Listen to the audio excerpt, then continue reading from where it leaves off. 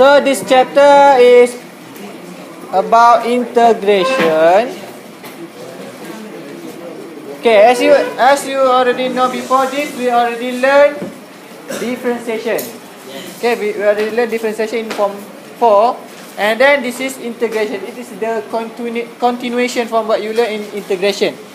Okay, integration actually is the reverse process of differentiation. Okay, uh, pengamiran ni adalah satu proses yang berlawanan dengan pembezaan. Kalau sebelum ni awak belajar function, function dia ada inverse function kan? Ha, dia ada. So, biasanya mat ni dia akan ada dua. Awak boleh buat ke depan, awak pun boleh undur semula ke belakang. Okay, so if you see here, okay, before this, we already learn, okay, uh, if we have the function, we do differentiation, we write as dy over dx. Okay, so if we do uh, dy dx, it, it is differentiation. So if we write in in this form, so fx, so we do differentiation, we can write as f prime x. And in another way, this is we call as integration. So this symbol, okay, this symbol like this, we call as integral. Okay, simbol ni kita sebut sebagai simbol integral. Okay. Okay, now there are C. Means arbitrary constant. Okay, pemalah arbitrary. Apakah yang dimaksudkan dengan dia tu? Kejap lagi juga akan tunjuk. Okay, I give you the example here. Okay, let's say now we do differentiation, okay? I give two different example. The first one, y equal to 3x square plus 5 and another one, y equal to 3x square plus 7. So let's say right now if we want to do differentiation, what happen? Kalau kita nak buat pembezaan, dia akan jadi apa? 6 6x, okay? The power you move in front, you multiply and then you minus by 1. Okay, second example. 3x square plus 7, what is the differentiation? 6x. Right? Okay, the power you move in front and then also subtract by 1. If you see the this example, the the answer for differentiation is the same, correct or not? Walaupun dari soalan asal tu dia punya constant yang belakang ni berbeza kan? Nampak? Ha, so yang tu lah mempengaruhi yang C tu. Arbitrary constant tu. Bermaksud nilai yang belakang tu, nombor constant belakang, apa-apa nilai sekalipun dia boleh jadi. Kalau kita buat pembezaan dia dapat nilai yang sama semula. Yang pertama ni. So integration of x to the power of n means that any power of n. Okay, how to do the differentiation? If you see, if you refer to this um, formula, awak tengok formula ni eh. Kalau kita nak buat differentiation dalam bentuk yang ni, kita nak buat differentiation dalam bentuk yang ni, yang pertama sekali, sebelum di differentiation, kuasa kita kena apa? Tolak kan? So kalau lawan pada dia nak buat integration, kuasa kena? Tambah. So the power you add by 1, and then the new power, you put as the denominator. Boleh faham? Kuasa tu awak tambah dengan satu dan kuasa yang baru tu awak jadikan dia penyebut. Okay, so for example this one. Okay, let's say right now we want to integrate x to the power of 7. So right now, okay, when you want to do the integration, okay, bila awak dah nak buat integration tu, pengamilan, buanglah simbol kat depan, dia akan jadi x to the power of 7 plus 1. And then the, this new power 7 plus 1 you put as the denominator. So over 7 plus 1 and then don't forget to put plus C. Arbitrary constant. Yang belakang tu mesti kena letak. Okay? So dia akan jadi apa jawapannya? X to the power of 8 over 8 plus plus C. Understand? Okay. Let's say kalau soalan ni cikgu buat kat depan ni integrate Y equal to ah this one. So jawapan depan ni akan ada Y lah. Okay, sekarang ni cikgu tak, tak ada letak Y kat depan eh. Okay, second example.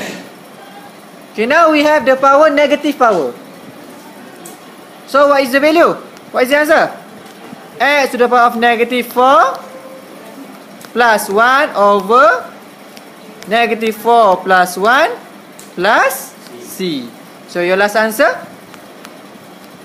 X to the power of? Okay negative 3 over? Okay negative 3 so put negative 3 plus c. So that is the answer. Nampak? Apa? Macam mana? Dx tak ada. Bila kita dah buat integrate dx tu hilang lah so ni cikgu buat step by step nanti kalau awak dah nampak boleh terus dalam kepala saja eh boleh congak dalam kepala saja But for fraction awak tak boleh terus buat plus 1 and then buat per dekat dia. Awak kena ubah dulu bentuk ni. Okay, you need to change this this uh, form. Kena ubah dulu bentuk ni. Macam mana nak ubah bentuk daripada pecahan kepada bukan pecahan? Index ni. Index law. Macam mana nak buat? Kuasa naik atas. Kuasa naik atas dia akan jadi apa? Okay, negatif. So, sekarang ni kita baru nak ubah bentuk.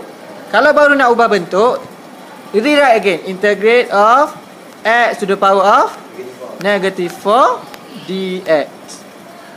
Okay, sebab sekarang ni kita baru nak ubah bentuk. Okay, so kena tulis lagi simbol kat depan. So, right now we want to integrate. So, x to the power of negative 4 plus 1 over negative 4 plus 1. And remember to put plus c. So, the last answer x to the power of negative 3 over negative 3 plus c. You can give the answer like this or ubah balik kepada bentuk soalan. Bentuk soalan ni macam mana? X to the power of negative 3 ni kita boleh buat bentuk, bentuk apa? Ha, balik semula ke asal. So dia akan jadi negative 1 over 3x to the power of 3 plus c. Can you understand?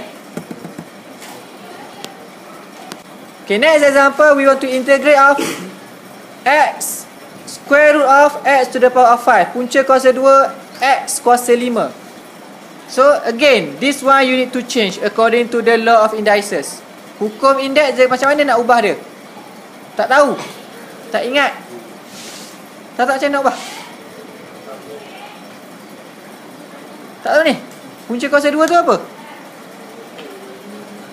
Satu per Okey contoh cikgu buat eh Square root of A Punca kuasa 2A Kita akan jadi A to the power of 1 over 2 Nampak? Square Cube root of X Dia akan jadi X to the power of 1 over 3 Kalau soalan ni dia akan jadi apa? 5 over 2 Okey dia ada 5 kan So dia akan jadi Okey sekarang ni integrate of x to the power of 5 over 3. Okay, 5 over 2. Square root here. Boleh faham tu? Okay, ni kuasa ni duduk dekat numerator for the power. Okay, kuasa tu dekat numerator for the power, okay? Okay, now you can integrate. So, how to integrate? x to the power of 5 over 2 minus 1 over 5 over 2 minus 1 plus C. Okay now, what is the value 5 over 5 over 2 minus 1? Eh, sorry. Plus. Okay, 5 over 2 plus 1. Okay, 7 over 2. Over? 7 over 2 plus C. But, do you need to left to leave your answer like that Kena tinggal jawapan macam tu ke Kat bawah ni kan dia ada pecahan nampak ha, So kita kena terbalikkan nombor tu Maka dia akan jadi Dia akan jadi 2x to the power of 7 over 2 over 7 plus c